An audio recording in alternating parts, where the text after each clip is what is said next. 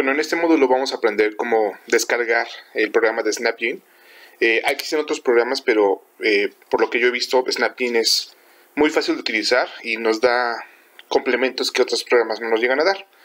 Eh, lo primero que tenemos que hacer es en el buscador, ya sea en la parte superior o en la parte inferior, pues buscar SnapGene. Eh, es una empresa, se dedica, eh, tiene un software eh, que cobran y un software gratuito, que es el SnapGene Viewer. El SnapGene Viewer tiene este, limitados algunas funciones, pero podemos complementarlo con otras herramientas gratuitas y de esta manera no nos tenemos que preocupar tanto por el, sistema de que cobran, ¿no? Bueno, una vez que lo buscamos, SnapGene, nos va a venir diferentes partes y en esta eh, parte viene SnapGene Viewer. Vamos a dar clic ahí. Esperamos a que cargue. Y descargamos. Vemos que nos sirve para Windows. Bueno, es lo que les decía, ¿no? Es eh, una prueba gratuita de 30 días. No le vamos a dar la opción ahí. Eh, entonces vamos a poner descarga. Sería Windows, Mac, Ubuntu o Fedora. Entonces vamos a poner, en este caso sería este Linux. Eh, vamos a buscar, digamos, yo tengo Windows, vamos a descargar Windows. Permitimos que se descargue. Y como se dan cuenta es rápido. Y después de esto lo ejecutamos y damos la opción de, ¿cómo se llama? de abrir la aplicación.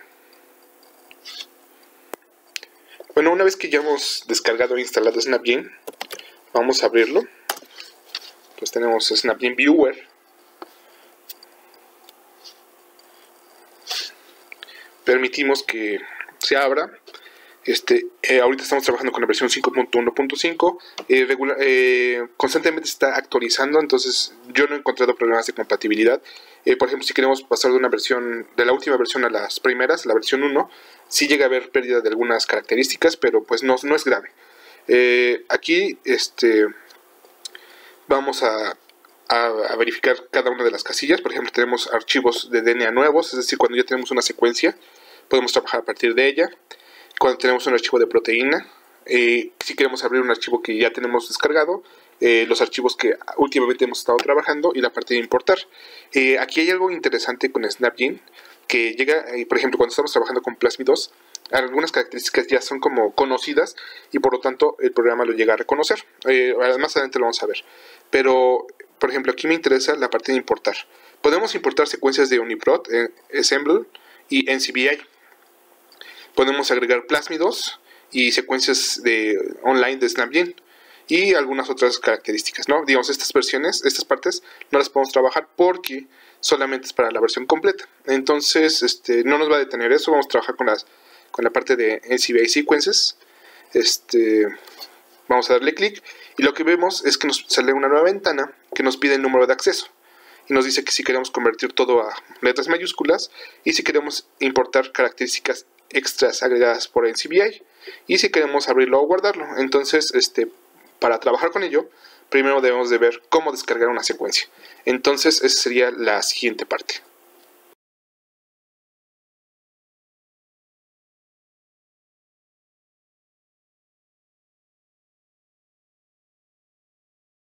Para descargar una secuencia, primero debemos de conocer qué secuencia queremos descargar, qué nos interesa. Entonces les había comentado que nuestro interés radica en poder clonar un gen. Entonces para ello vamos a descargar una secuencia que para mí ya es conocida, que sería la de doble cortina.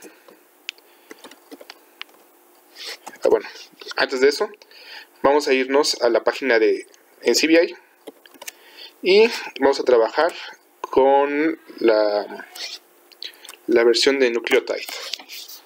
Entonces damos clic y nos va a abrir directamente la parte de Nucleotide. Recordemos que en CBI trabaja con diferentes recursos.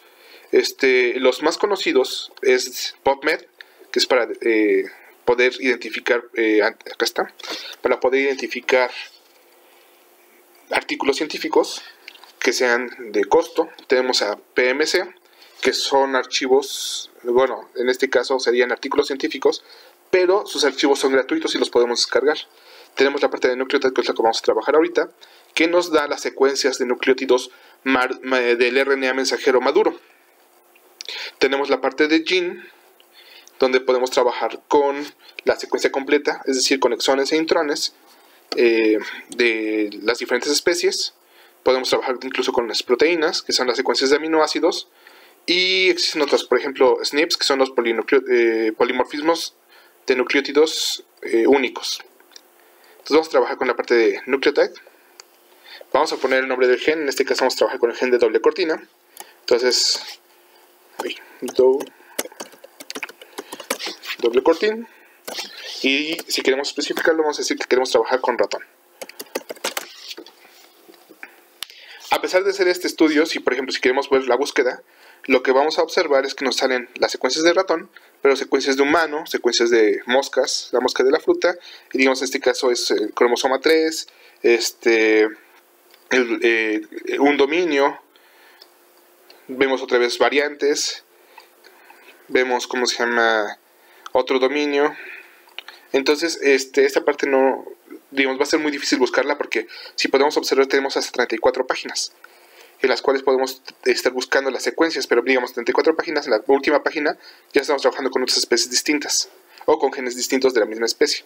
Entonces vamos a regresar a la donde estamos viendo y la ventaja de esto es que nos sale un cuadrito, este cuadrito, en el cual nos viene la información. Entonces nos dice que este gen de doble cortina también se conoce como DCX. Recuerden que los genes que no son de humano eh, inician con mayúscula y las siguientes letras son con minúscula. Nos dice que es de ratón, de mus musculus, un ratón de caza.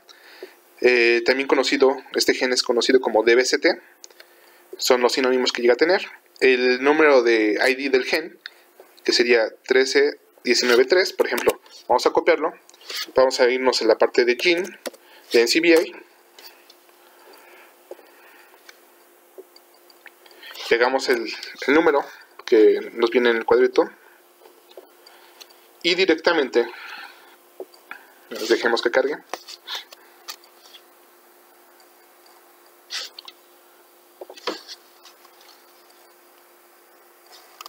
A veces llega a tardar este esto depende de cuántas personas estén utilizando el, el navegador o de nuestra velocidad de internet. A ver, tengo que pegar otra vez. Listo. Entonces nos está diciendo que este gen, o sea, el gen con intrones y exones, se conoce como doble cortina. Fue actualizado el 28 de julio de 2020. Eh, viene la fuente primaria, viene algunas eh, cuestiones relacionadas, por ejemplo, el ensemble. Eh, si este gen, ¿qué es? Si es un microRNA, si es viral o algo así, y en este caso nos está diciendo que codifica para una proteína ha sido revisado. Nos viene el linaje, bueno, en este caso, eh, toda la filogenética del, de la especie, en este caso es Mus musculus, también se conoce como DBCT, un resumen de lo que es el gen y para qué sirve, y los ortólogos, por ejemplo, si queremos trabajar en humanos o en otras especies. Pero eh, vamos a seguir bajando, nos dice que se, localiza en el cromosoma X, tiene este, este gen cuenta con 7 exones, hay dos eh, secuencias reportadas de ensamblaje del cromosoma. Eh, en las dos podemos, por ejemplo, podemos copiar este número y descargarlo. Nos viene aquí la información de, de dónde inicia y dónde termina. Y aquí en esta parte que es el cromosoma, aquí nos dice que en rojo vemos que el gen está en sentido contrario, es decir, es un gen de sentido negativo dentro del cromosoma del ratón. Eh, más abajo podemos encontrar una, un dibujo, bueno, una forma gráfica del cromosoma. Digamos aquí en azul es el cromosoma completo. Vemos este, los mensajeros. Eh, algo importante es que, por ejemplo, todos los que vienen con NM son mensajeros que ya han sido reportados como de referencia. Los XM seguramente son las, las unas, algunas predicciones, o sea, no han sido comprobados. De hecho, este, nos está diciendo que es una isoforma X2, las isoformas X son de predicciones, y por ejemplo, si queremos descargarlo, eh, perdón, acá. Si queremos descargarlo aquí en sus, por ejemplo, la proteína, el mensajero, este, el, archivo FASTA, bueno, otras cosas, ¿no? Y el NM, que son los que nos interesan. Y ahí nos dice que si queremos bajar, por ejemplo, aquí podemos descargar los exones individualmente, si queremos trabajar con ellos, y otras cosas más. Entonces vamos a regresar. Ah, bueno, algo que les quería mencionar aquí es que las líneas verticales son los exones y en horizontal, la línea horizontal ocupa todo el, gen. Por ejemplo, vemos que tiene 1, 2, 3, 4, 5, 6, 7. Son 7 exones, como se había dicho en la parte superior. Y pues tiene entonces 6 exones. Y perdón, 6 intrones. Este, este es importante porque, por ejemplo, si nos movemos un poco más, aquí, vemos que este gen, no sé, no sé cuál sea, podemos seleccionar, por ejemplo, este. A ver si nos sale la información.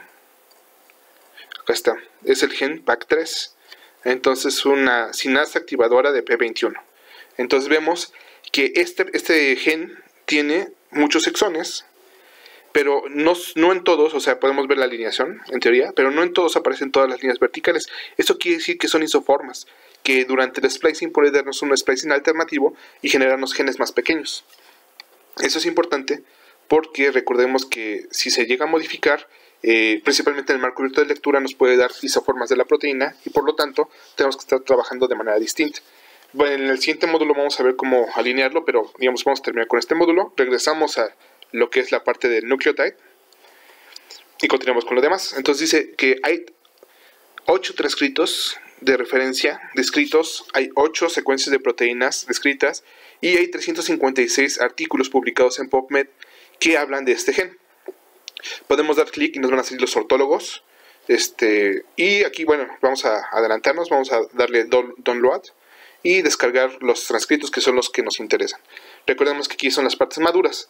Este, la ventaja de esto es que, de este cuadrito, es que si ustedes ven, como hace, rato estamos viendo, pueden salirnos diferentes cosas y entonces tendremos que buscar entre las 34 páginas todos los genes que hablen de doble cortina de ratón. Entonces, ah, algo importante aquí es que dice aquí que estamos trabajando con los CDS. Los CDS son los marcos abiertos de lectura, es decir, la parte codificante, que es Codifying Sequence. Eh, pero, por ejemplo, aquí nos está diciendo que es el RNA mensajero, Aquí nos está diciendo que es el RNA mensajero completo. Y por todos estos eh, archivos que llegan a aparecer, este se nos puede dificultar. La ventaja de esto es que si damos clic aquí en los transcritos de referencia, nos manda directamente a una página donde solamente nos aparecen 8. Vemos las variantes, variante 2, variante 4, decimos que es el mensajero, el mensajero, este mensajero, todos son NMs, que son secuencias de referencia. Pero también nos salen otros que dicen de predicción. Procuramos no trabajar, trabajar con los de predicción porque este, estos han sido descritos por, por eh, modificaciones, bueno, perdón, no modificaciones, sino por análisis bioinformáticos. Entonces el problema que llegamos a encontrar es que pueden ser que no existan. Entonces, como vamos a trabajar en un sistema de clonación, vamos a trabajar con lo que ya ha sido reportado y lo que sabemos que existe. Si queremos eh, verificar si esto también es válido, pero sería un trabajo totalmente distinto. Entonces, este, trabajaríamos con las cuatro variantes reportadas que tienen el número de acceso común NM y, digamos, yo, como yo le di clic en la parte anterior, que era la de descargas, descargas, las de referencia, ya me bajó mi secuencia y le pongo que abrir el archivo. Bueno, mostrar repita. Los archivos FASTA los puede abrir Snapgene. Pero, si los queremos modificar, los podemos abrir, podemos darle clic derecho, abrir con y decir que trabajemos con bloc de notas o hojas de texto. Entonces vemos que es una hoja de texto, viene la información, digamos aquí en este, en este caso viene el número de acceso, después del símbolo de masque. Ese, ese símbolo es muy importante porque muchos programas que trabajan con las secuencias reconocen este símbolo como que ahí va a iniciar una secuencia. Si ustedes se lo quitan, entonces los programas no los llegan a identificar. Y, por ejemplo, aquí viene la información de la especie, los músculos, el nombre del gen, el nombre corto, eh, la variante que estamos trabajando y el mensajero. Así nos, nos podemos ir con la variante 2, variante 4, variante 1, variante 3 y después de ese vienen las predicciones. Entonces les había comentado que no vamos a trabajar con las predicciones. Entonces vamos a seleccionar todas las predicciones y las eliminamos. Nos quedamos solamente con las secuencias de los mensajeros reportadas.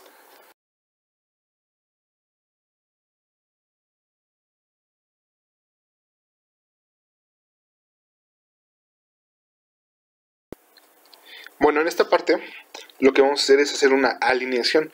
Les había mencionado que puede existir cambios en las secuencias del marco abierto de lectura, que es lo que nos interesa clonar para que se exprese un gen. Y si hay cambios, vamos a trabajar con diferentes isoformas. También puede existir que haya modificaciones o, las variantes sean en los extremos no codificantes, como el 3' y el 5'. Recordemos que esas regiones son regiones de regulación. Entonces pueden modificarse, pero al final no nos va a afectar tanto la proteína. Va a modificar la, expresión de la proteína, pero no el resultado final. Eh, digamos, para ello, primero tenemos que ver si se modifica mucho. Entonces, lo que vamos a hacer es modificar la nomenclatura. Digamos, es una nomenclatura muy larga y estos espacios los llega, eh, otros programas los llegan a reconocer como que le estamos dando enter. Entonces queremos que todo esté pegado. Entonces recordemos que eh, mantenemos el símbolo de más que. El número de acceso nunca se lo tenemos que quitar porque nos va a servir de referencia. Por ejemplo, por ejemplo eh, si yo llegara a perder mi archivo y digo esa especie, no sé qué sea, copio ese número de referencia, me voy, por ejemplo, aquí. Vamos a ir a la página de. Vamos a quitar esta parte. Vamos a pegar el número de acceso, nm, le damos búsqueda. Y me tiene que salir directamente el, la hoja de GenBank de ese gen, de esa variante. Me dice que es el gen de doble cortina de ratón y es la variante 2. Y aquí puedo ver toda la información, ¿no? Por ejemplo, que es de ratón. El punto, por ejemplo, es el número de acceso, pero a veces tiene el punto 1, punto 2, punto 3. Esas son las versiones, es decir, que esta es la primera versión, no la han modificado. Si yo, por ejemplo, llegara a secuenciar y de repente encuentro que, que está mal un nucleótido, lo que hago es reportarlo y entonces ya va a ser la versión 2 y entonces me tienen que a mí este, reportar también. Eh, aquí podemos ver quién lo, quién lo referenció, los autores, el último que lo, que lo referenció en el 2020 y son estos autores y así nos podemos ir con todas las publicaciones que ha, que ha tenido este gen. Eh, vemos un, resumen de lo que es el gen y para qué sirve. Este, los identificadores primarios, por ejemplo, yo cuando subo una secuencia y no está validada ni nada de eso, entonces a esa secuencia le dan un número, por ejemplo el AB, pero una vez que se valida, entonces lo cambian a NM. Eh, aquí nos viene, por ejemplo, si queremos las características, nos dice que, bueno, de la cepa, por ejemplo, es un es del ratón C57BL6, es un ratón negro, es un ratón muy conocido, que ya se conoce su genoma, viene en el cromosoma X, eh, aquí vemos la taxonomía, si queremos darle clic. Eh, por ejemplo, aquí en el gen, nos está diciendo cuánto mide el gen. Y los exones, por ejemplo, si yo doy clic en exón, en la parte de hasta abajo me dice que toda esa secuencia es la parte del primer exón. Y en, esa, en los detalles, viene aquí, ¿no? Que va desde el nucleótido 1 hasta el 150. Vemos aquí, por ejemplo, si yo quiero ponerle FASTA, me va a abrir, por ejemplo, vamos a abrir un vínculo nuevo. Y aquí en el, en el vínculo nuevo me sale solamente la secuencia de ese exón. Es cuando quiero hacer como un análisis de exones. Y ver dónde inicia y dónde termina. Y dónde se encontraría como el sitio del intrón. Eh, por ejemplo, aquí te puedo poner el siguiente exón, el, tercer exón, el cuarto exón, el quinto exón. Recordemos que son siete exones y el último era el más largo. Entonces es el más largo de todos. Eh, este sería como la parte rápida. Pero por ejemplo, si yo quiero descargar el archivo individual, le puedo poner FASTA. Y entonces aquí en FASTA me va a salir la misma secuencia que yo ya tengo en ese archivo de hoja de texto. Bueno, entonces les, decimos, les decía que este número no tiene que desaparecer, entonces lo voy a mantener. Le pongo junto al 1 en el teclado, aparece una línea vertical, se lo pongo. Le pongo que es músculos, pero en este caso yo trabajo con claves porque se me facilita, lo hace más pequeño. Yo sé que músculos es ratón, entonces eh, la M, la primera M la vamos a dejar como mayúscula y vamos a ocupar las dos primeras letras de la especie. M, M, U. Eso significa mus músculos.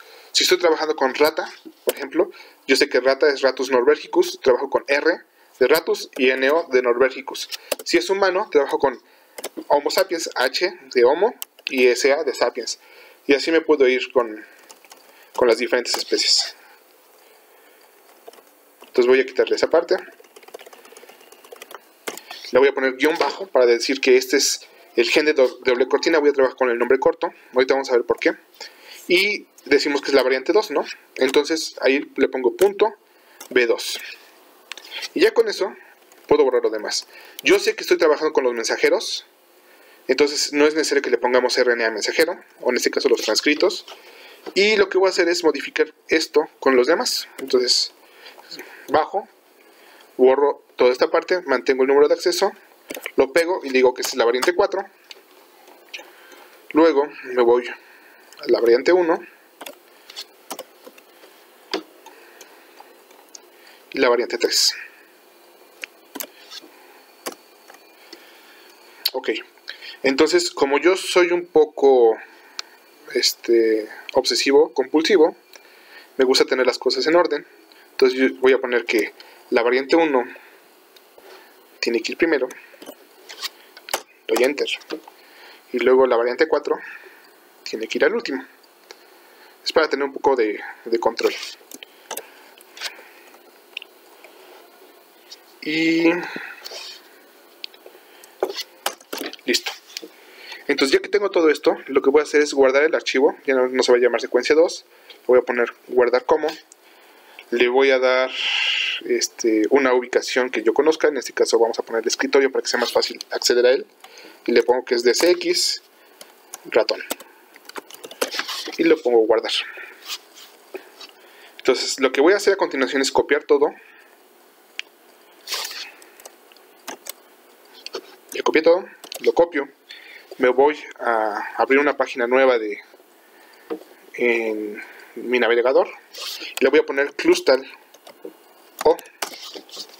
recuerden que existen programas que podemos descargar por ejemplo este está Mega 7 donde podemos hacer la, alineación que es lo que vamos a realizar ahorita pero pues si tenemos una computadora que tiene una memoria virtual muy pobre entonces eso nos va a hacer que nuestros programas se lleguen a atorar entonces es más fácil trabajar eh, con los archivos en línea.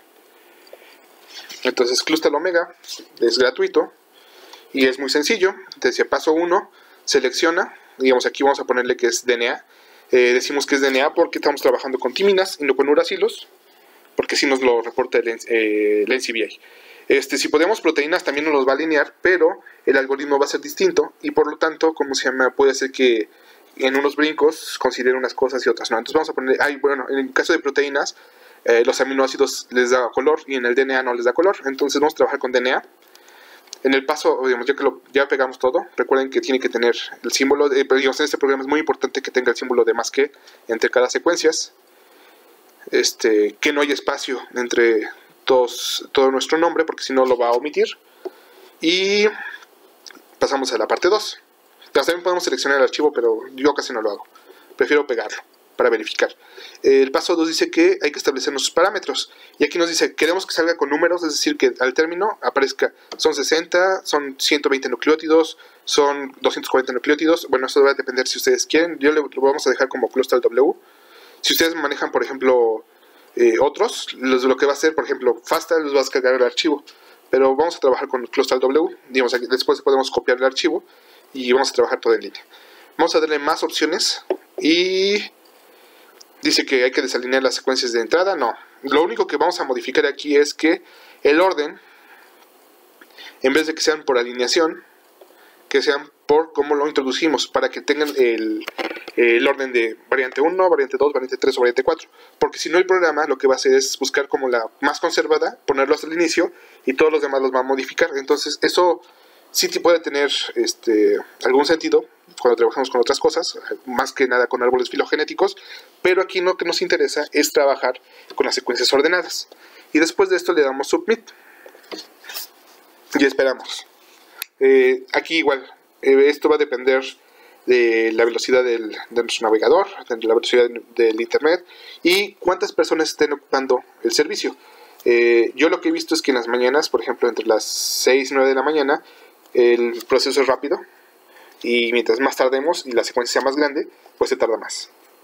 Entonces vamos a ser un poco pacientes. Digamos aquí pueden aprovechar para ir a tomar agua o servirse café para despertar bien.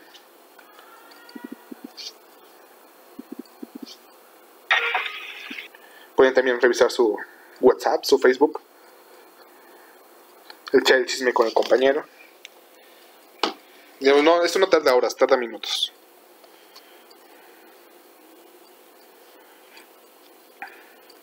Y esperemos que ya esté.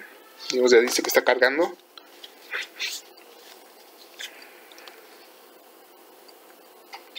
Sigue cargando.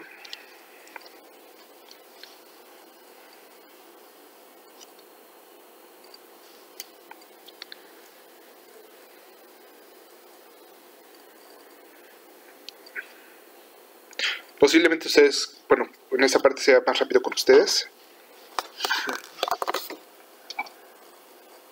Listo. Entonces nos sale esta, esta página donde nos dice, por ejemplo, la forma de entrada, los servicios web, alguna parte de fax de las herramientas informáticas. Digamos, esa parte no nos interesa. Nos interesa la parte de aquí abajo. Nos está diciendo que estamos viendo las alineaciones. Eh, eh, podemos poner como ejemplo un resumen de los resultados. Y ya nos dice qué resumen queremos, queremos generar el árbol filogenético para ver cuál gen fue el primero, digamos, aquí estamos trabajando con la misma especie, no tiene sentido ponerle que nos genere un árbol filogenético, pero podemos ver que el, porcentaje de identidad. Entonces, esta parte es importante porque la identidad quiere decir que, qué tanto se parecen.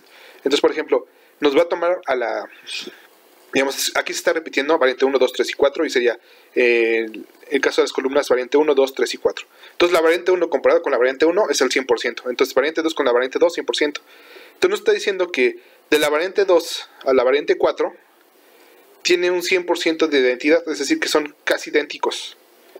La única que varía sería la variante 1 con respecto a todas las demás. Vamos a verificarlo. Yo lo que llego a hacer es copiar este cuadrito abro, bueno, abro mi, mi hoja de texto que estamos, hemos estado trabajando.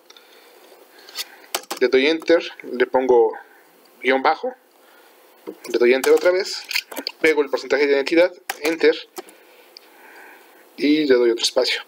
Esto nos va a servir para recopilar la información porque este, para ya no estar haciendo las alineaciones otra vez y perder el tiempo, yo puedo abrir este archivo y tener toda la información recopilada en esa parte. Entonces vamos a regresar a la parte de la alineación. Digamos, ya vimos que es la porcentaje de identidad.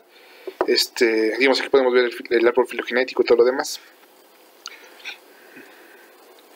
Eh, si queremos descargar la alineación, vamos a darle clic en abrir otra ventana. Y nos sale este, esta hojita que podemos copiar toda y pegar en nuestra hoja de texto. De esa manera tenemos recopilada toda la información. Vamos a darle guardar. Vamos a regresar a la página, que es más sencillo evaluarlo.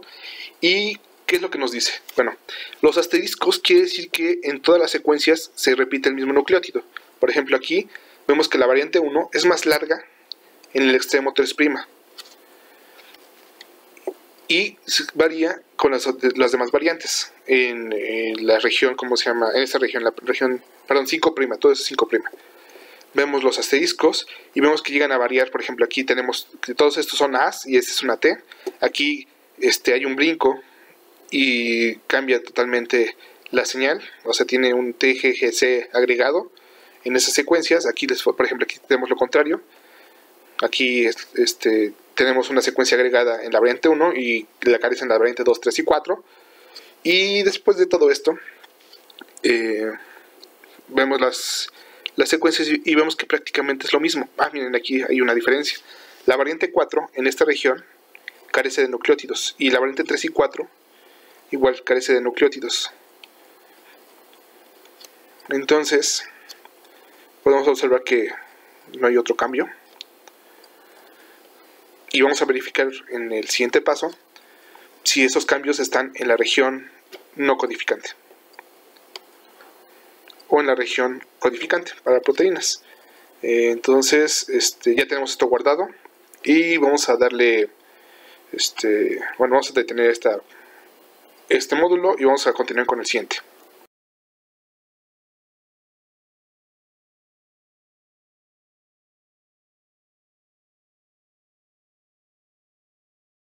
Bueno, como habíamos visto anteriormente, habíamos, eh, habíamos por ejemplo, vamos a poder hacerlo otra vez, podemos darle en importar y pegar la secuencia de NCBI y poner el número de acceso. Recordemos que el número de acceso es este que se encuentra en esta región.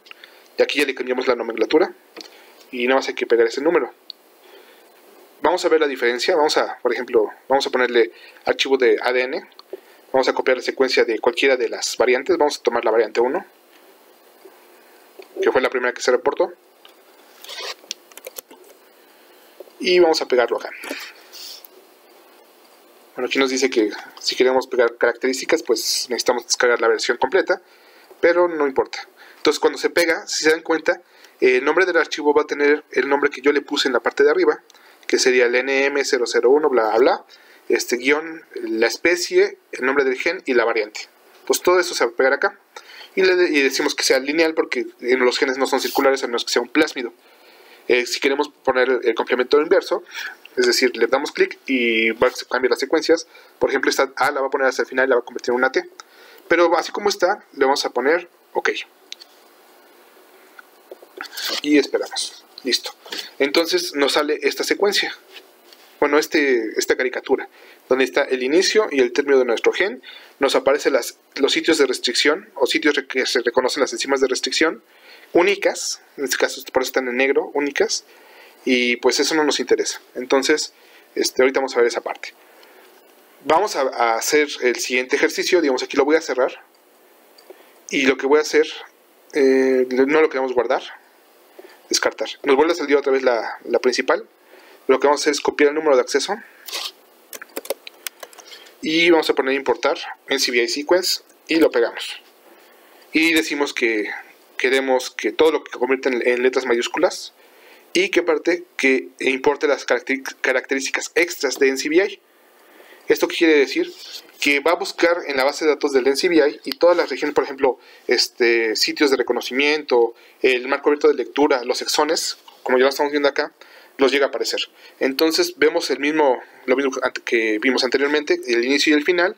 Nos viene este, un cuadrito donde, bueno, en este caso un una ventana donde nos da las características del gen. Decimos que es de ratón, que es un roedor, que el nombre que tiene completo, el número de acceso, por ejemplo aquí podemos poner un número de código si tenemos nosotros o si ha sido modificado, este, las revisiones, un pequeño resumen de, de la secuencia, para qué sirve y todas las publicaciones que he reportado. Entonces esto lo puedo quitar aquí poniendo en panel de descripción.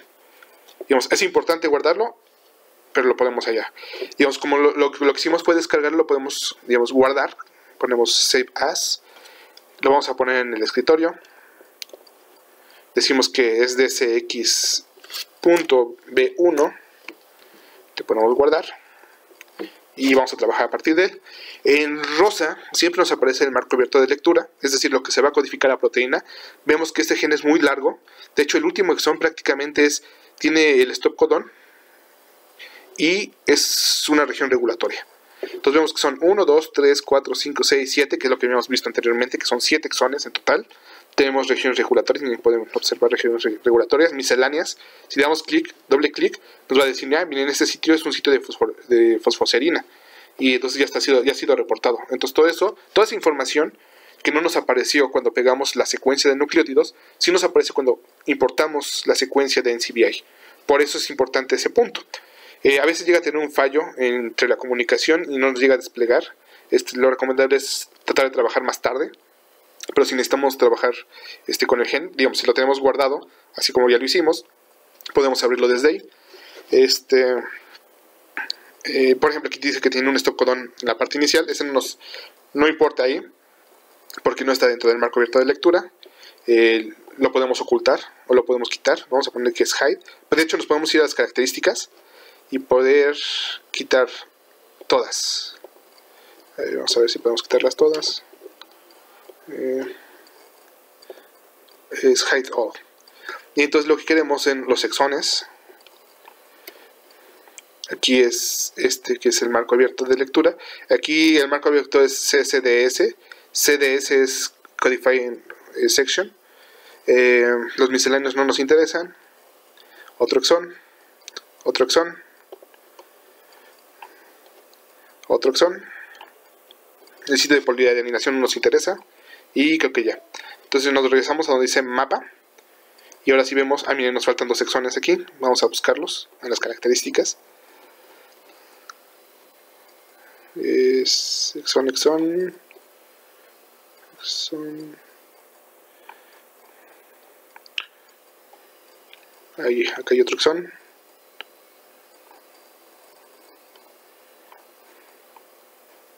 Acá está el otro. Listo. Como se dan cuenta, no vienen en orden. Entonces ya tenemos los exones. Eh, tenemos las enzimas de los sitios de reconocimiento para las enzimas de restricción no nos interesan entonces podemos irnos en la región izquierda en el, primer icono y darle clic y nos, nos van a desaparecer y lo que me interesa es que este el CDX que sería el marco abierto de lectura que aparezca sobre eh, o que sea lo primero que aparece le doy doble clic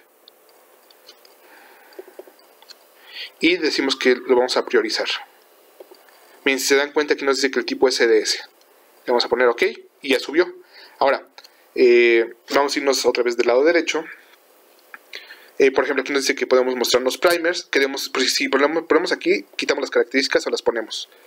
Eh, aquí, este es como cuando no sabemos si hay un sitio de inicio de la, traducción. Lo podemos poner ahí y nos está diciendo que si hay dos. Uno, que es el que nos da reconocimiento al DSX, el gen, como tal el codificante y otro que es inverso, pero es muy pequeño, entonces ahí no le vamos a hacer caso. Este, vamos a irnos a esta parte, que es sobreponer las flechas sobre el gen. Y ya está, sobrepuesto. Entonces tenemos que todos los exones estén en la parte inferior. Eh, por ejemplo, aquí si lo queremos linearizar o circularizar, como este no es un plásmido, no nos interesa. Si queremos quitar los números, este es más que nada, por, vamos a ponerlo. Por ejemplo, aquí nos aparecen los numeritos, si le ponemos acá, desaparecen los numeritos, que es la posición en la que están. Y, por ejemplo, aquí es hacer una alineación, pero esta versión no nos permite hacer alineaciones, por eso tuvimos que recurrir a hacerlo de cluster. Eh, una vez que tenemos esto, podemos irnos a la parte de dice secuencia y ya nos diría dónde inicia. Si se dan cuenta, al ponerle que es CDX, perdón, CDS, digamos, si yo le pongo las características que son 3' UTR, 5' UTR, en el caso de ponerle CDS, que es eh, la secuencia de codificación para aminoácidos, lo que va a hacer automáticamente el archivo es ponerle metionina, glutamina, leucina, asparagina, fenilalanina, o sea, va a poner los aminoácidos sobre la secuencia del gen. Y vemos los exones, por ejemplo, aquí hay un exón y otro exón. Aquí están formados otros exones. Este, recordemos que ya habíamos hecho la alineación, nos vamos al archivo de TXT y recordemos que estamos trabajando con la variante 1 y decíamos que encontramos dos modificaciones. Por ejemplo, esta de la variante 4. Queremos ver dónde está esa secuencia de, de nucleótidos que carece la variante 4. Entonces vamos para acá y le vamos a poner control F para buscar, control V y le ponemos next. Y entonces me dice que esta región no está presente en la variante 4. Eso quiere decir que vamos a trabajar con dos isoformas distintas de la proteína. Pero la ventaja es que como se encuentra en medio, a la hora de clonarlo, podemos tener esas dos variantes en nuestro sistema de clonación. Entonces, si nos llegan a aparecer dobles bandas, no hay que asustarnos porque puede ser que, estemos trabajando con esta versión. Este, a ver qué más. Eh, me parece que ya tenemos el stop codón, ahí termina todo. Y creo que sería todo para ver la parte de importación de genes en Snapgene.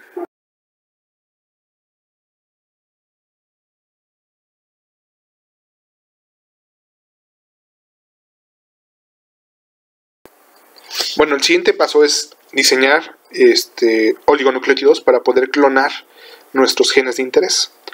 Eh, el diseño de los oligonucleótidos para el, caso de clonación no es como o no toma las características de los oligonucleótidos para realizar PCRs este, como método de diagnóstico o para identificar eh, si está o no está un gen porque este, ahí podemos buscar, movernos en todo el gen y buscar las características que más nos importan. En este caso, tenemos que ajustarnos a lo que hay en el gen. Entonces, para ello, por ejemplo, queremos clonar en esta ocasión el marco abierto de lectura, que es el CDS, nos vamos a ir directamente sobre eh, la secuencia marcada en esta flecha morada y a partir de ahí decir qué es lo que queremos. Bueno, recordemos que el, oligo forward debe incluir la primer metionina o debe estar antes de la primera metionina. No nos podemos diseñar un oligonucleótido después, porque si le quitamos esta primera metionina, este, recordemos que es la señal para poderse, ¿cómo se llama?, eh, traducir. Entonces, aquí, eh, el, igual con, en la región 3' tenemos que considerar el stop codón. O sea, ya sé que nuestros oligonucleótidos están sobre el stop codón, o bueno, al revés, el stop codón esté sobre nuestro oligonucleótido o el oligonucleótido esté diseñado después del stop codón. De esta manera, vamos a incluir esa, esa región para clonación. Entonces vamos a irnos a la región eh, donde está la primera metionina y para ello vamos a buscar este, secuencias de nucleótidos que no tengan tantas acites o que no tengan muchos repetidos. Por ejemplo, estas repetidos de AS son, nos pueden causar problemas, pueden facilitar la dimerización de los oligos o la formación de horquillas. Este, se recomienda que los, el oligonucleótido forward y el reverse tengan unas TM similares o unas temperaturas de decisión similares que no varíen más de 1 o 2 grados centígrados, eh, que estén en un rango de temperaturas de 60 a 63, nos podemos ir hasta 65. Nada más que ojo, para hacer eso yo trabajo con otro programa, eh, porque el programa de, de SnapGene nos da unas TMs diferentes. Eh, ¿Y qué otra cosa más? Ah, y el largo. Eh, procuramos trabajar con largos mínimos de 18 grados, de 18 perdón, nucleótidos y máximos de unos 25. Entonces vamos a buscar una secuencia que puede eh, ser accesible. Y por ejemplo aquí hay muchas ácites. Podemos trabajar a partir de esta. Mm, pues más o menos sería una adecuada. Aquí secuencias son 20 nucleótidos nos está diciendo que son 53, 54 grados centígrados.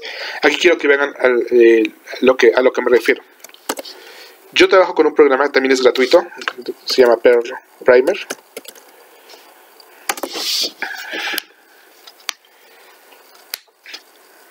Entonces es un programa muy viejito. Eh, de hecho, ahí nos está diciendo que la versión es del 2011. Bueno, su copyright es del 2011. Su última versión es del 2003. Pero a pesar de que sea viejito, funciona muy bien. Nos da unas TMs muy similares.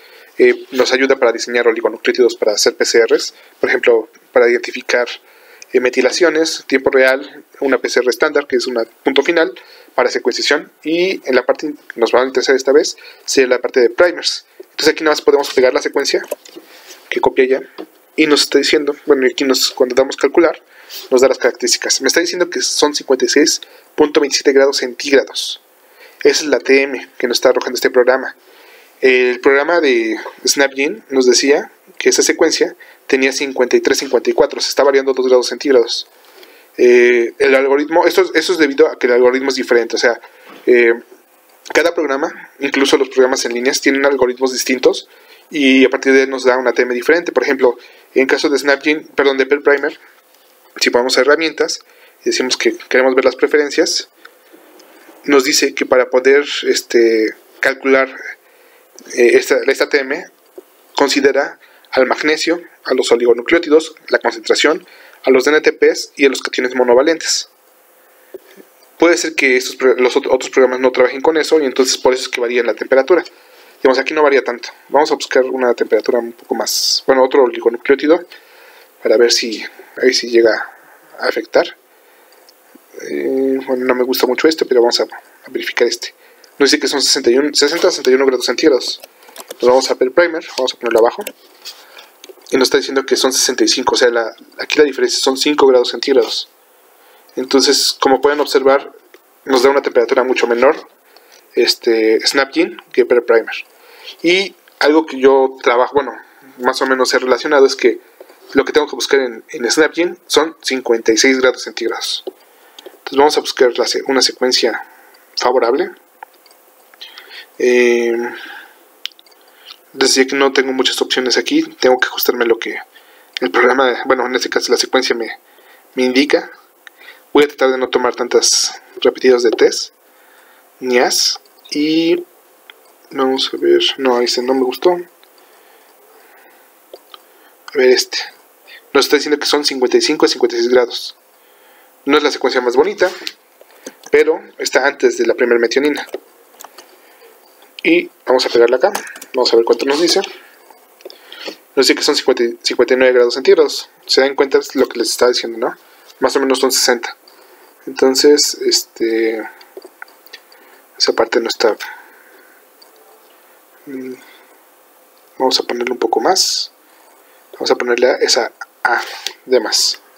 Y esa A de más nos dice que con esa A de más aumenta a 60 grados centígrados, pero el porcentaje de GC disminuye a 47. ¿Puedo trabajar con él? Sí. ¿Es lo ideal? No. Nos puede costar un poco de trabajo. Pero, pues, digamos, no tenemos otra opción. Entonces, copiamos la secuencia. Le vamos a poner primers, agregar primer. Le decimos que es el forward, que es el top. Digamos, ahí ya se pegó toda la secuencia, pero lo vuelvo a pegar. Me dice que esa es la secuencia que va a reconocer. Le vamos a decir que este es el forward para clonación. Y agregar.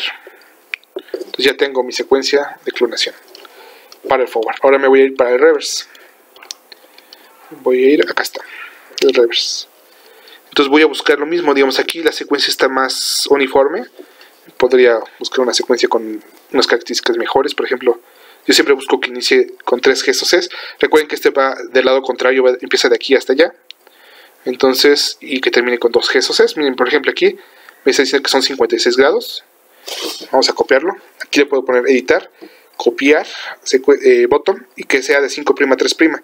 Recuerden que para solicitar los oligonucleótidos tiene que mandar la parte complementaria e inversa. Y le podemos calcular. Y se dan cuenta, la diferencia es de 0.6, bueno, de hecho es menos, de 0.6 grados centígrados. Eh, tiene un largo de 23 bases y la otra es de 21. Y el porcentaje de GCs es de 47 y de 52. Bueno, lo, de DS, DH y DG es la energía libre de Gibbs. Aquí eh, lo único que les puedo decir es que mientras menor sea esta energía, o sea, de menor de menos 20, está bien los, los nucleótidos. Este, si tenemos estos, bueno, el, DS y el DH son las energías de entropía y entalpía que se utilizan para calcular la DG y la TM, entonces solamente son como de referencia, nos basamos más en la TM, que es lo que nos interesa, eh, ah, vemos que uno tiene 52% de GC, el otro tiene 47, mm, digamos ahí vamos a, vamos a, nos puede costar un poco más de trabajo, pero no importa, seguimos trabajando, este, nos dice que, por ejemplo aquí, lo que me gusta de este programa es que dice, este, hay dímeros, y si estos dímeros son extendibles, por ejemplo dice que el forward y el forward, estaría, o sea, un forward podría estar tocando otro forward, y a pesar de que yo lo veo de esta manera, lo que está pasando es que forma una horquilla, y estas secuencias pueden llegarse a pegar. Eh, dice que el forward y el reverse, ese es el más peligroso de todos, ¿por qué? Porque, por ejemplo, eh, es, el último al unirse puede permitir que con la, con la polimerasa esto amplifique y entonces lo que esté aquí cambie y por lo tanto nos va a dar un producto distinto a lo que yo estoy esperando. Pero como esto no es una PCR para diagnóstico ni para identificar, identificar genes, no me importa, porque a pesar de que salgan productos inespecíficos, con que me salga mi gen, perdón, mi producto del tamaño que yo estoy esperando, con eso es suficiente para proseguir. Eh, aquí, por ejemplo, tenemos otros que son los, los que no se extienden, extienden, pero por ejemplo pueden unirse entre forward y reverse, entre, entre reverse y reverse, pero estos no van a amplificarse. Este oligonucleótido me parece adecuado. Lo vamos a copiar así como lo tenemos. Bien, vamos a ver la secuencia. Y aquí nos dice que es GGC, TTG y aquí empieza con CTA. Pero recuerden que es la secuencia complementaria, es decir, la, de abajo e invertida. Entonces dice que es GGC, GGC, TTG, TTG, TGG, TGG y así me puede continuar. Es importante que cuando ustedes vayan a pedir oligonucleótidos los pidan de esta manera porque si los piden al revés, nunca van a hibridar. Entonces, le voy a decir que ya tengo seleccionada esta parte, le digo que son características, perdón, primers, agregar primer, le digo que es el bottom, si se dan cuenta aquí ya me, lo, me hace la conversión automáticamente y le pongo que es el reverse de clonación. Y le pongo que es agregar. Listo entonces me voy a la pantalla principal a la de mapa y veo que está el forward y el reverse ya identificados. Ay miren aquí ya me equivoqué porque hice el reverse con la parte de arriba. Entonces este reverse no me sirve. Me voy a ir a la parte de abajo y busco digo, oligonucleotidos con la misma característica. 52, 54, no.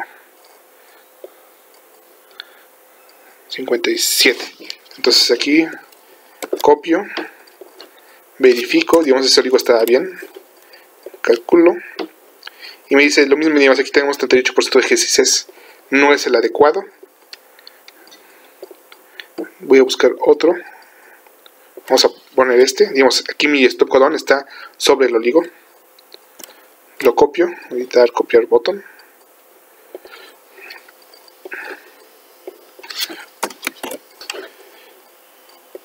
Una desventaja de este programa de Primer es que no se puede correr de forma automática en Mac. Necesitan como un simulador, me parece.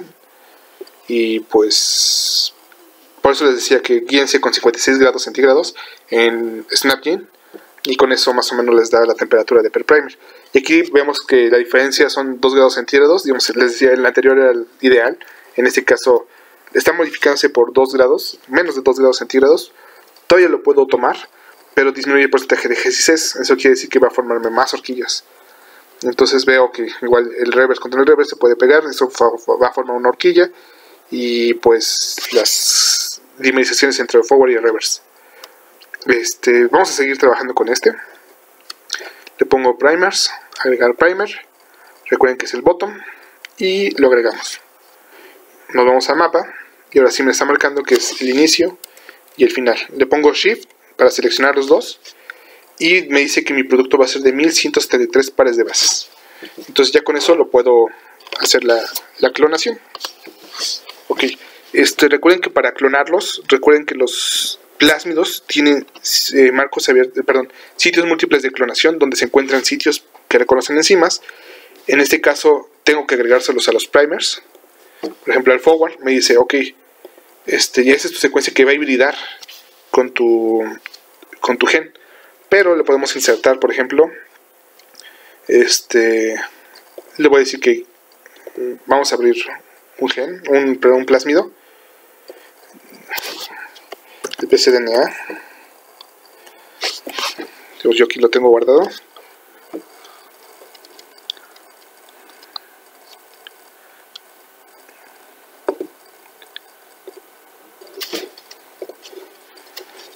Tantito, dejen que abra. O si no, digamos, si yo quiero descargarlo, me, voy me puedo ir a SnapGen. Le pongo PCDNA 3.1. Y me sale que el positivo. Listo. Aquí está. Entonces tengo el PCDNA 3.1 tengo todas las secuencias encima de restricción aquí y le digo que me lo descargue. Bueno que lo abra. Y me dice que lo abre con Snapdragon Viewer. Y le pongo que abre con Snapdragon Viewer. Me espero un momento. Listo ya lo abrió. Entonces aquí me dice lo mismo no que este es para células de mamífero, por eso seleccioné PCDNA 3.1. Me dice que la descripción dice que es un vector de expresión mamífero con un promotor de, de citomegalovirus y tiene el sitio múltiple de clonación en sentido positivo. Dice, también nos comenta que dice que el gen clonado debe incluir una secuencia COSAC. Eh, listo, a ver. Entonces aquí tenemos las enzimas de restricción. Digamos, aquí en la, parte izquierda le puedo poner que las preferencias. Digo que estoy trabajando con las enzimas de New England, que son las más conocidas. Le cierro y le puedo poner eh, escoger enzimas. y quito todas. Digamos, aquí me aparecen todas las que son únicas, pero digamos, en mi laboratorio no trabajamos con, o los laboratorios trabajan con todas, entonces podemos trabajar con las más comunes, ¿no? Que sería el QR1, SHOW1, EXBA1, NCO1, eh, EQR5, ok, ahorita vamos a ver cuál es el problema, NDE1, perdón, NDE1 y eh, ¿cuál más? ¿cuál más? déjenme ver si aparece por acá. HIN 3 y el otro sería BMH1 ahí está. Eh, BAM, perdón, es BAM. BAM H1, listo y le pongo OK. Y entonces de esa manera solamente me aparecen las que yo seleccioné. Entonces, por ejemplo, ND1, ND1, a pesar de que es única, está en sobre el promotor. Entonces no lo voy a ocupar. Tenemos a GIN3, BAMH1, EQR1, EQR5, SHOW1 y EXBA1. Pero EQR5 no lo voy a ocupar porque ahorita vamos a dar doble clic. Y nos dice que cuando se corta, deja extremos romos. Y yo no quiero extremos romos, quiero extremos cohesivos. Entonces puedo quitarla y me quedo con los que sí. Entonces dicen, bueno, recordemos que todo tiene dirección. El promotor me está diciendo que va a transcribir en este sentido, hacia adelante. Entonces a partir de eso voy a trabajar con qué encima voy a trabajar eh, antes y al final. Entonces voy a trabajar con GIN 3 al, inicio y al final con EXPA 1. Me regreso a mi gen, le doy doble clic al forward, le pongo inserciones y le digo que quiero el sitio de Hintres. De hecho le pongo, puedo poner Hintres, acá está, Hintres. Y le pongo insertar. Si se dan cuenta, este no está hibridando completamente. ¿Por qué? Porque está flotando, porque eh, no, no lo está reconociendo sobre la secuencia. Y, por ejemplo, le puedo poner otro. Digamos, vamos a trabajar con BAM H1, HIN3 cualquiera de estos recordemos a ver vamos a quitarlo vamos a poner cancelar vamos a dar doble clic. Entonces primero tenemos que es BAMH1 acá está BAMH1 le ponemos insertar y luego vamos a ponerle HIN3 y le ponemos insertar y lo agrego antes y le vamos a poner los libros recomiendan que le pongamos nucleótidos de más en los extremos, en este caso en el extremo 5', porque si la enzima de restricción se va a pegar, necesita donde anclarse. Si ustedes lo dejan así pelón, posiblemente no se ancla. Entonces los libros nos recomiendan que sean de 6 a 8. Eh, en algunas enzimas solamente con 3 es suficiente o con 1 es suficiente. Pero para asegurarnos vamos a ponerle 6. Entonces le vamos a insertar, insertar. Y le ponemos OK. Vamos a hacer lo mismo con el reverse. Entonces a la secuencia vamos a ponerle insertar. Vamos a regresar a nuestra secuencia del PCDNA y nos dice que tenemos a show 1 y a exba 1. Show 1 y exba 1. Entonces primero vamos a ponerle a show 1. Insertar. Ya lo agrego. Y luego le ponemos exba 1. Insertar. Y luego le ponemos dos alaninas. Si quieren ponerle más o otra a otro aminoácido, bueno, otro codón, glicina por ejemplo, se lo ponemos. El, único inconveniente es que si nosotros podemos ponerle incluso 100 nucleótidos, el problema es que cada nucleótido nos cuesta, entonces va a ser muy caro. Si ustedes no le ponen la secuencia de XBA1 y 6 nucleótidos, con eso es suficiente. Entonces ya que lo tenemos así, vamos a ponerle OK. Y entonces ya tenemos, eh, no, le cambiamos el nombre, es reverse clonación. De, la secuencia que está en rojo quiere decir que es la secuencia que no hibrida con nada. La que nos interesa es la que está en negro. Y le ponemos OK. Entonces damos, seleccionamos los dos. Y entonces lo que podemos hacer aquí es copiar. Entonces le ponemos File, copiar, eh, perdón, editar, copiar y le decimos que copiamos el top. Nos vamos a un archivo de txt, digamos aquí vamos a trabajar con el mismo, para que sea más sencillo. Mm, vamos a un espacio. Lo pegamos y me está diciendo, ah, pues tu forward es todo esto, tu reverse es todo esto, y esa es la secuencia que está flanqueada, ¿no? Entonces, por ejemplo, aquí yo debo de seleccionar este, debo' de pegarle la secuencia de que le voy a agregar. Recuerden que cuando hago la PCR, eh, los oligonucleótidos, todo lo que lleve los oligonucleótidos en el 5' se va a pasar en el producto de PCR. Entonces, nos dice que es un GTC. Entonces, todo esto lo voy a pegar acá. Listo. Y en esta parte me está diciendo que tengo que pegarle lo demás. El problema es que aquí como está invertido. Me va a costar trabajo identificarlo, entonces me voy al archivo de, de Snapgene. Ahí dice clonación. Selecciono lo que está. Voy a borrar es, ah, así. Y esto lo puedo poner que sea el inverso. Lo copio. Y lo pego.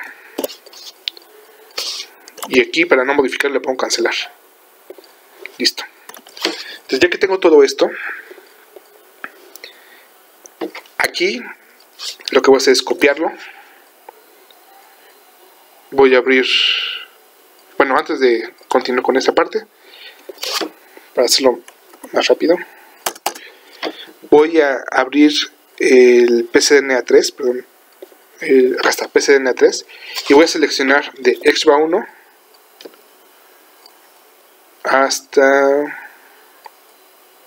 No, perdón, vamos a, vamos a hacerlo otra vez. Entonces copio la secuencia que acabo de modificar, copio, me voy a Snapgene, le pongo nuevo, lo pego, pongo OK, y se dan cuenta, digamos aquí voy a hacer lo mismo, seleccionar las enzimas que yo puse, entonces escoger enzimas, removemos todas y recordemos que le puse HIN3, le puse PAMH1, le puse SHOW1 y le puse EXBA1. Listo. Le pongo OK. Y entonces ya me aparecen. Si se dan cuenta, BAMH1 aparece dos veces. Está dentro del gen. Entonces esa enzima de restricción no la voy a ocupar. ¿Por qué? Porque, ¿cómo se llama? Cuando haga la restricción me puede cortar a la mitad. Lo mismo pasa con EXBA1. Entonces con las enzimas que voy a trabajar es HIN3 y SHOW1. Y selecciono esas dos. O sea, HIN3, Shift, SHOW1 y copio. Y me voy al archivo de... Acá está de texto y lo pego. Si se dan cuenta es un poquito más corto, le quitamos las, secuencias que no nos interesan, que en ese caso era BAMH1 y, EXPA1, y ahora nos vamos al del PCDNA3. Entonces aquí en el PCDNA3 voy a seleccionar primero este Show1, que es la secuencia que, que se mantiene en mi, en mi gen, y HIN3. Entonces le pongo Shift, HIN3. Recuerden, si ustedes lo ponen al revés, primero HIN3 y luego Show1, solamente selecciona lo que está en medio.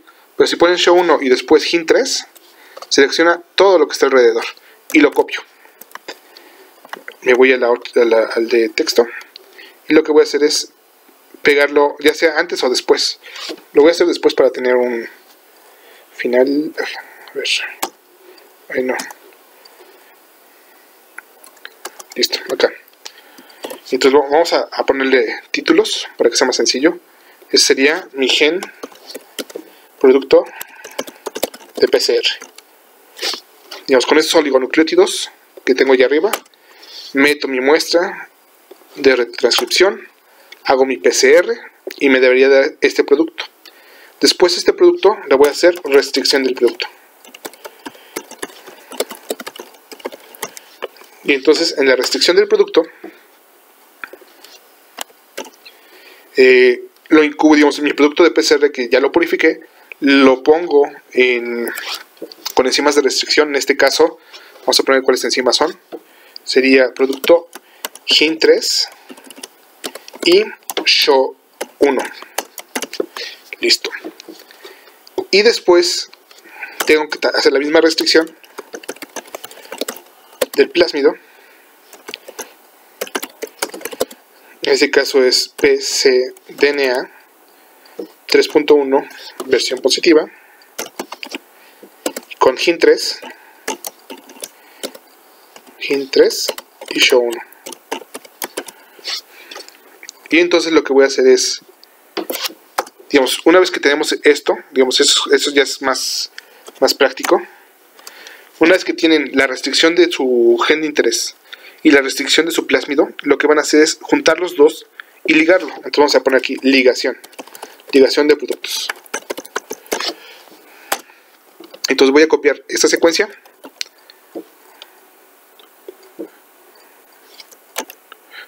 Copiar y lo pego acá abajo.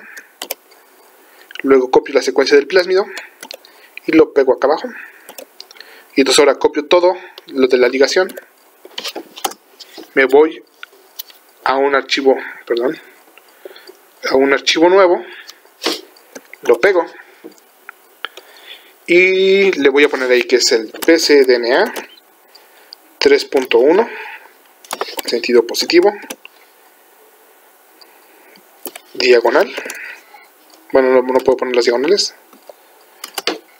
vamos a ponerle guion y el nombre del gen que sería DSR variante 1 DC, perdón, DSX punto variante 1 y le pongo ok pero antes de ponerlo ok si se dan cuenta me lo está marcando como si fuera circular y que detecta características comunes.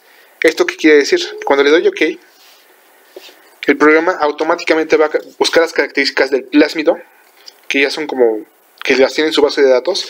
Por ejemplo una señal de poliadenilación, de, en este caso de la hormona de crecimiento bovina, eh, un, sitio de origen de, perdón, un sitio de origen de replicación del fago F1, de un sitio de promotor de SB40, el origen de promotor SB40, eh, los genes de resistencia NEO-CAN-R, que sería para seleccionar las células de mamífero que fueron que incorporaron el plásmido y así me puedo ir con las demás características. Le pongo agregar. Ok. Y si se dan cuenta, en vez de estar yo como las líneas nada más, me metió todas las características del plásmido original. Entonces nada más le pongo aquí que sean sobre las líneas. Le voy a quitar las enzimas de restricción que no me interesan le voy a decir que solamente me deje, en este caso era GIN3, EQR1, nada más las que tengo en mi laboratorio, ND1, SHOW1, XBA1, BAMH1 y vamos a dejar así. Entonces se dan cuenta, este ya me aparecen ND1 sigue sobre el promotor, GIN3, SHOW1 y en este caso BAMH1 me aparece uno que está en medio del gen. Si yo quiero poner el gen aquí, o sea, la secuencia de mi gen, me voy a ir al archivo original, le voy a seleccionarlo, le voy a poner control C o lo copio, o también lo que puedo hacer, perdón, es poner la secuencia y copio la secuencia, editar, copiar. Eh, bueno, ajá, perdón, selecciono, editar, copiar, me voy al archivo nuevo y le pongo control F para buscar, control V y le pongo next. Y se dan cuenta me identifica las, la región. Entonces ya que lo tengo ahí le voy a poner características agregar características. Le digo que es el CDS me lo marca automáticamente en rosita le puedo cambiar de color por ejemplo me gusta a mí este color o le puedo poner un color este color le puedo poner aquí algunas características de, interés, así como gen clonado. Digo que lo priorice en las características del plásmido. Eh, y el sentido, pues, digamos, el sentido siempre va a ser positivo. Le puedo cambiar el sentido y le puedo poner el nombre, que sería DSX de ratón. Ok. Entonces, de esta forma ya tengo, digamos, aquí le pongo ver el tamaño y le voy a poner biggest ya tengo mi plásmido y le puedo poner file export, exportar mapa y eh, vamos a ponerle en, en escritorio le voy a poner guardar le puedo cambiar el, el tamaño perdón, la calidad. Vamos a ponerle que sea una calidad alta, le ponemos que sea de un background transparente. Lo puedo poner en color, en escala de grises lo voy a poner de color. Le pongo que exportar. Vamos a abrir PowerPoint. Vamos a buscar el archivo, lo que se abre. Aquí lo tengo, aquí está. Lo copio. Espero que abra PowerPoint, ya abrió.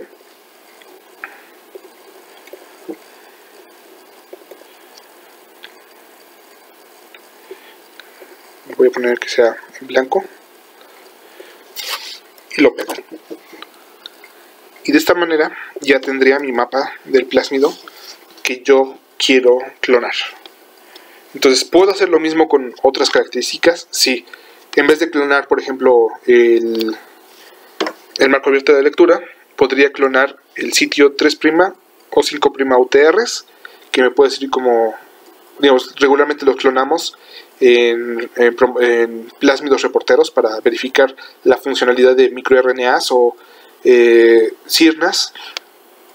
Puedo clonar un promotor, o sea, hay plásmidos que no tienen promotor, pero tienen a la luciferasa, y por ejemplo yo puedo trabajar con DNA genómico, clonar el promotor y ponerlo en este sitio, y de esa manera, si, el, si la luciferasa se expresa, entonces quiere decir que mi promotor eh, sí se trabaja en, esa, en esas células, eh, digamos, más adelante vamos a verlo cómo funciona ese tipo de, sistemas en el desarrollo de animales eh, genéticamente modificados o modelos nuevos para investigación. Eh, pero pues prácticamente es lo mismo. Con, haciendo una PCR podemos clonar genes.